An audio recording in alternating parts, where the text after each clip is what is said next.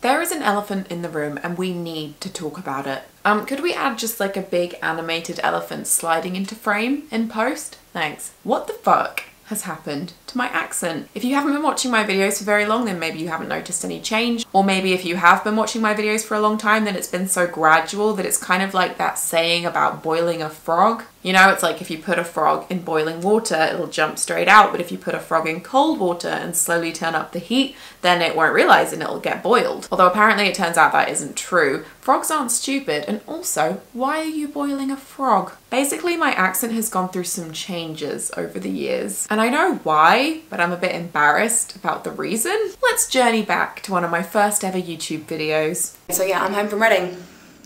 And once again, I am vlogging in my bathroom because it has nice lighting.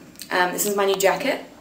YouTubers meet new jacket jacket YouTubers. Now this is roughly what I should sound like in life, I think. I'm from Surrey, so I think I sound a bit like posh Surrey, a bit regular Surrey, a bit London, because at my school people were from like all over the place. And by all over the place, I mean Surrey and London. A richly diverse upbringing. Not everyone at my school was a posho, basically. Try to ignore the hair. I know it's extremely hard. So if that was kind of normal and what made sense for me, what went wrong from there? Well, I started hanging out with a lot of people from London and Essex. I basically spent my later teen years making friends with YouTubers. What? A loser. During this time, I um, briefly dipped into having a Midlands accent because I was dating somebody from the Midlands, but there isn't any video evidence of that that doesn't have him in it too, so, you know, not gonna open that can of worms.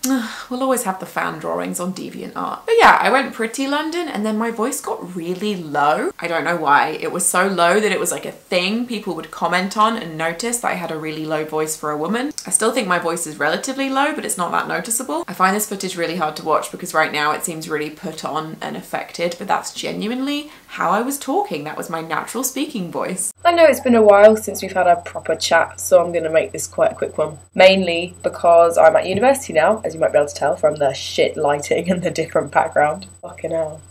Fix. A lot of you have been asking me if I had a good New Year's because I told you that I was trying to break the bad New Year's curse this year, and it wasn't great but it was okay. I was also dating somebody who had a heavier London accent for the first couple of years of uni. At uni I lived with someone northern, but that didn't take. I was also living with and hanging out with people from the kind of Oxford area, so I think that reined in the London a bit, and dare I say it, I went back to being semi-posh. A little while ago I made a video about the crappy things that I like, the embarrassing things that I like, you know, like my guilty pleasures that I don't really feel that guilty for. When I was a young warthog um, of schooling age, I went to a grammar school school. It was an all-girls grammar school. It was quite strict and they had very set ideas about what students should be. And my voice got higher again. Why?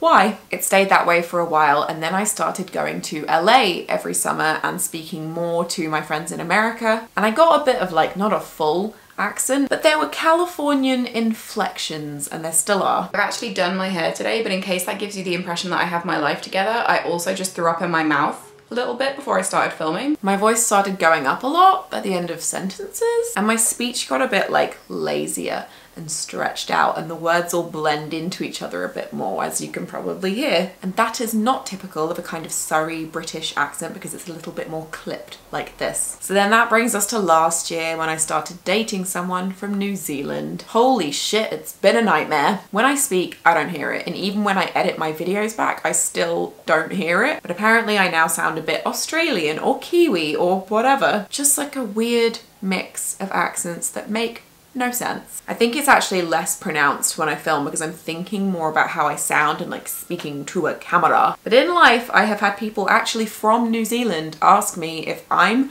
from New Zealand or from Australia. So as you can tell, I take on the accents of the people around me and I always have done. So I think from this we can conclude that I am a sponge with no sense of identity who clings to other people and slowly steals their souls. Or I am extremely empathetic and therefore likely to take on the traits of those around me because I just feel for them. So deeply. Or maybe it's a bit of both. I've had a lot of people comment about my accent, which is why I wanted to make this video to like acknowledge and explain it. It's also very self-indulgent because I just wanted to like take a look back and see where it all came from. But I think it's kind of interesting and weird. So yeah, I don't know, do you hear it? Where do you think I sound like I'm from? Am I alone in my weird accent chameleoning? Fingers crossed that my next boyfriend is Scottish. I reckon I'd quite like a Scottish accent. Just kidding, current boyfriend. I hope he's Irish.